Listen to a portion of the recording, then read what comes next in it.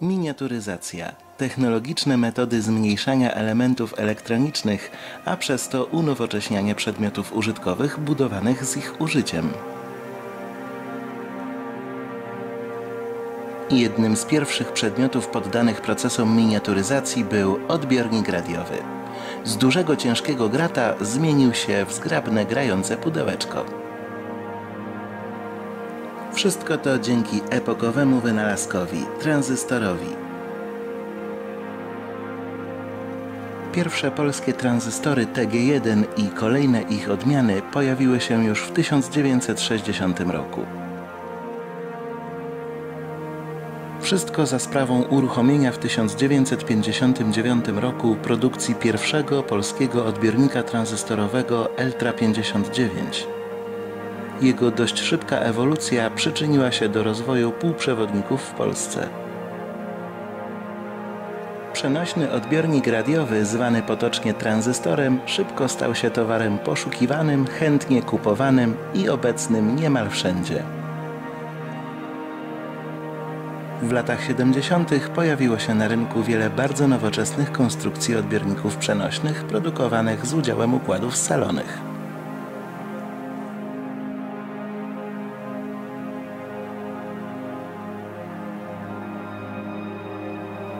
Lata 80. to dalszy ich rozwój i unowocześnianie.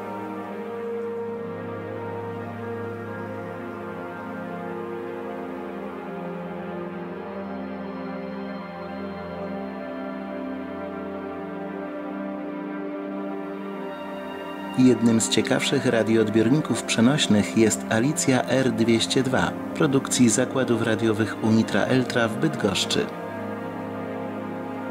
Ten uratowany przeze mnie egzemplarz Alicji wymaga gruntownego remontu.